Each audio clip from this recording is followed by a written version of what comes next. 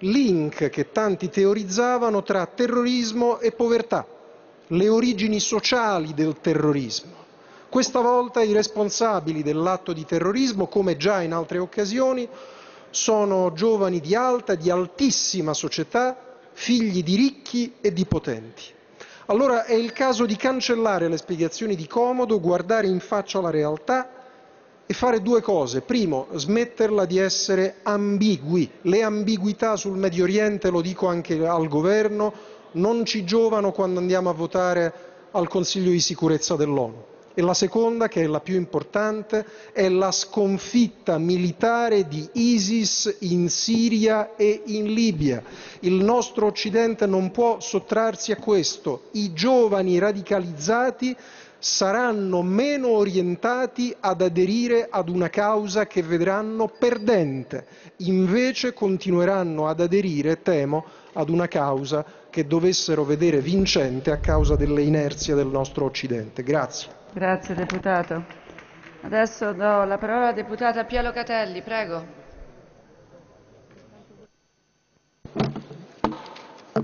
Grazie signora Presidente.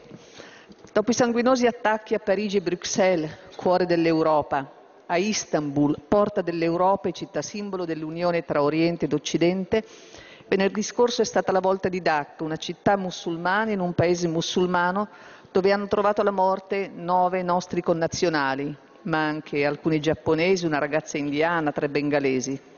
E poi domenica la volta di Baghdad, dove due attacchi kamikaze hanno provocato 200 morti. Ci troviamo nel pieno di una folle guerra che non risparmia nessuno. Nel caso dell'attentato in Iraq, come per quelli di Bruxelles e Parigi, la rivendicazione dell'ISIS è stata chiara. Per la strage di Dhaka non è ancora certo se si tratti dell'ISIS o del gruppo terrorista Jamayatul Mujahideen Bangladesh, che vede tra i suoi militanti giovani istruiti, colti, di famiglie benestanti. Importa, ma, ma fino a un certo punto. È certo che chi ha seminato il terrore ad H ha inferto, volutamente o meno, un duro colpo anche all'economia di uno dei paesi più poveri dell'area, che si basa quasi esclusivamente sul, sul tessile, richiamando grandi gruppi stranieri. Ora queste imprese vogliono andarsene, una prima vittoria del terrorismo tessili erano i nostri imprenditori o imprenditrici o le tecniche che si erano spinti fin là per andare ad investire o ad acquistare.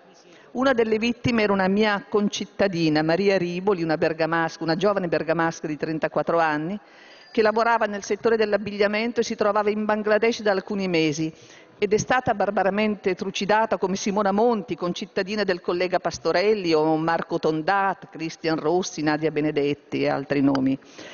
Ecco, tutti che non conoscevano il Corano, una tragica scusa per nobilitare un gesto disumano e per scatenare una guerra di religione. Ma la religione a Parigi, Bruxelles, in Iraq, in Bangladesh non c'entra nulla.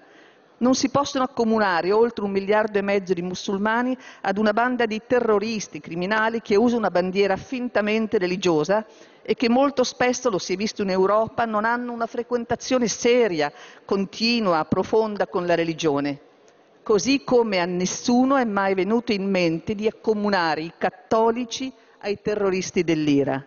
Non facciamo l'errore di accomunare Islam a terrorismo. Oggi però non è il momento delle polemiche, ma quello del cordoglio e non ci sono parole per esprimere sgomento, orrore per l'atroce mattanza di Dacca. Grazie. Grazie, deputata Locatelli. Adesso Do la parola al deputato Pino Pisicchio. Prego.